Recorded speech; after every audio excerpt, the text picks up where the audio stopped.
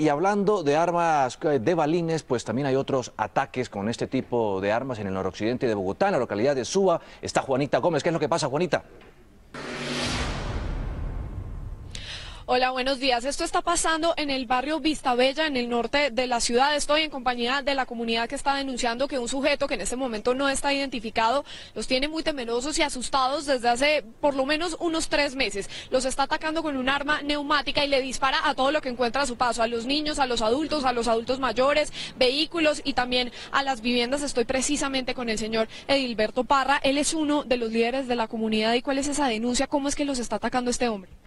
Este sujeto está atacando con disparos a diferentes horas, básicamente en las horas de la tarde, y que está creando, creando un momento de pánico, desconfianza e inseguridad entre la comunidad y entre toda la juventud que se acerca al sitio donde él se encuentra.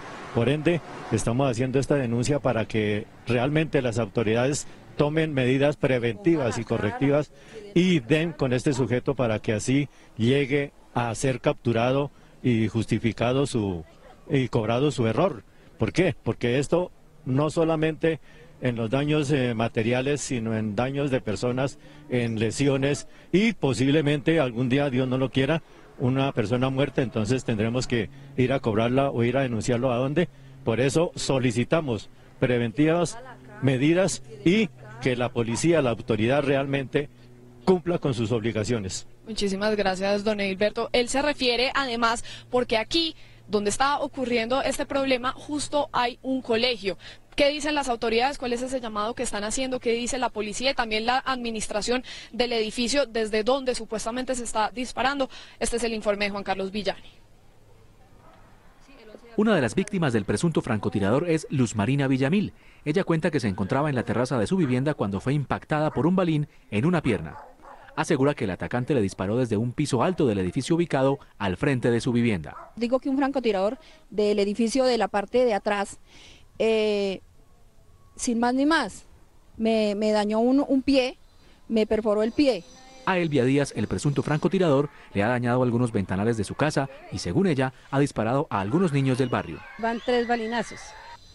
Y después entonces a la vecina, ya del lado de los huevos, al niño le pegaron en, en el estómago un balinazo, sino que el niño tenía bastantes chaquetas y no le alcanzó a pasar.